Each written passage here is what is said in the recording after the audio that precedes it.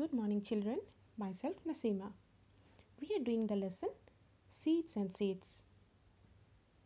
Dear children, our today's topic is germination of seeds. Here, you will learn about the stages of germination of seeds. आप यहाँ पे germination के बारे में जानेंगे Dear children, look at these pictures.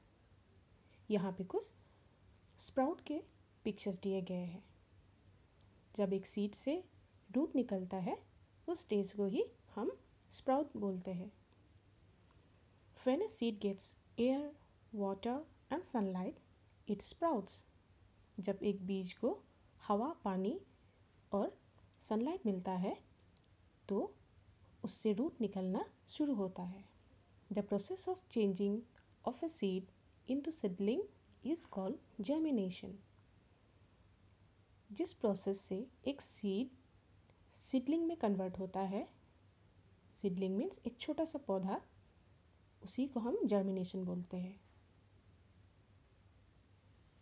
Now let's do an experiment अब हम एक एक्सपेरिमेंट करके देखते हैं। सीड जर्मिनेशन यहाँ पे एक पिक्चर दिया गया है। और इस एक्सपेरिमेंट के लिए हमने कुछ बीन सीड्स लिए हैं। बीन सीड को इस तरह से पानी के अंदर प्लेस किया गया है कि जो सबसे ऊपर है, वो उसको सिर्फ़ एयर मिल रहा है, लेकिन पानी नहीं मिल रहा है। जो मिडिल में रखा गया है, उसे पानी एयर और सनलाइट भी मिल रहा है। और जो एकदम लास्ट में है, उसको सिर्फ़ पानी और सनलाइट मिल रहा है, लेकिन एयर नहीं मिल रहा है। तो अब इसको हम एक दो दिन रखने के बाद देखते हैं कि क्या होता है। रिज़ल्ट हम देखेंगे कि the seed in the middle is germinating because it is getting all the components like air water and sunlight हमें ये दिखाई देगा कि जो मिडल में सीड रखा गया था जिसको हवा, पानी और सनलाइट भी मिल रहा था, वही सीड जर्मिनेट करेगा। और जो सबसे ऊपर रखा गया था सीड इन द एयर उसको पानी ना मिलने के कारण जर्मिनेट वो नहीं होगा। और जो सबसे बॉटम में रखा गया था सीड इनसाइड वाटर उसको एयर ना मिलने के कारण वो जर्मिनेट नहीं होगा। तो रिज़ल्ट से ये पता चला कि एक सीड को जर्मिनेट होने के लिए हवा, पानी के साथ सनलाइट भी ज़रूरी होता है।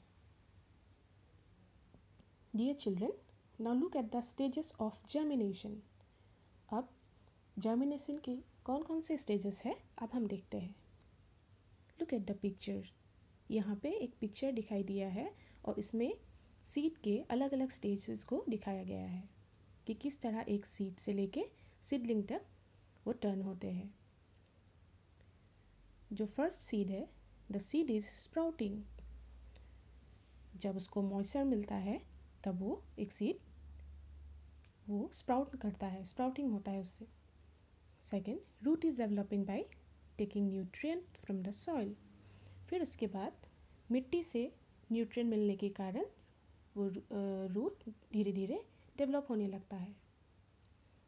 नंबर थ्री सीड में देखिए आउटर लेयर यानी seed coat of the seed is falling off जो सीड का एक बाहर का एक कवर होता है, उसको हम सीड कोट बोलते हैं।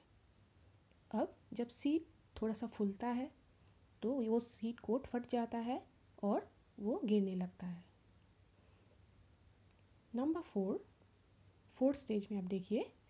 Shoot goes above the soil and starts developing leaves अभी धीरे धीरे शूट पार्ट ऊपर जा रहा है मिट्टी के ऊपर और वहाँ से लीफ डेवलप होना शुरू हो रहा है। And the last point five seed turns into seedling और वही लीफ थोड़ा आगे बढ़ के एक सीडलिंग में कन्वर्ट होता है।